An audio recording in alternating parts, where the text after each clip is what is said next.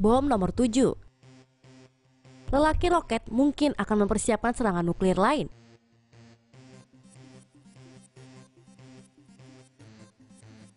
Intelijen Korea mengatakan para pembuat hukum Korea Selatan Kamis lalu telah menyiapkan tes misil.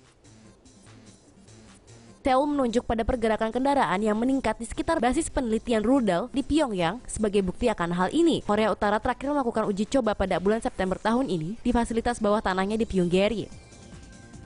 Itu dilaporkan mengakibatkan gempa bumi dan beberapa gempa susulan. Pekan lalu media Jepang TV Asahi melaporkan hal ini menciptakan keruntuhan terowongan dan kematian 200 orang. Namun Pyongyang menyebut laporan ini sebagai berita palsu dan itu berasal dari orang yang sama yang kabarnya mengatakan orang ini bisa menyetir saat dia masih belita.